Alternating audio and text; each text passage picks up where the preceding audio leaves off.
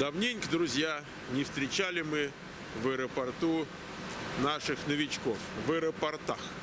Обычно аэропортами были Сан-Франциско, международный аэропорт, чаще всего, и аэропорт в Сан-Хосе. А сейчас мы в редком таком аэропорте, мы, аэропорту, мы в Окленде. Я так показываю панорамно. Вот такой аэропорт. Он международный, тут в Мексику есть рейсы. Ну, он такой небольшой. Мы, друзья, встречаем вот оттуда выходят пассажиры прибывающие. И мы должны встретить нашего гостя, и чтобы уже мимо нас точно не прошел. Вот я в папахе знаменитой генеральской. Мы вот будем оттуда встречать. А он, ты знаешь, что ты будешь в папайке? Нет, он понять не имеет. Вот, но мы его будем эпатировать. Вот, друзья, не прошло и пара минут. Наш гость. Откуда вы гость? Сам с Южной Каролины, с Мёртл Бич город, а родом с Беларуси. Э, Тоже Михаил? Да, здравствуйте. Как вы к нам попали? Ну, про вас услышал в течение год назад, наверное. Так.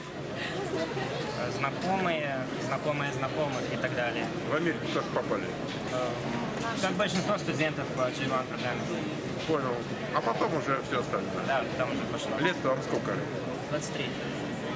Молодой. Образование какое? Э, Почти законченное. Четыре года отучился, один оставался. Ну, Ну и все. на что? На что отучился? Учился на Ребятам, инженера по телекоммуникациям. Связист? Да. Ой, радио или проводная какая Э, связь? Радио, телефон, интернет, спутник. А сейчас все вместе стало. Да. Понял. А я вот по автоматической коммутации и телефонии, сети связи. Вот. Это...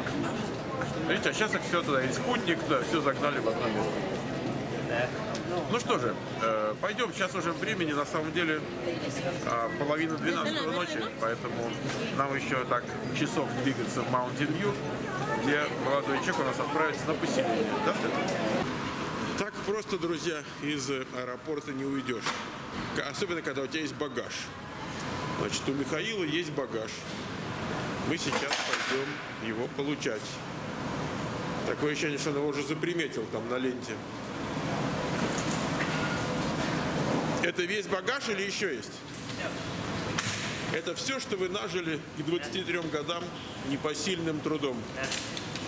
Ну, пошли тогда, что же.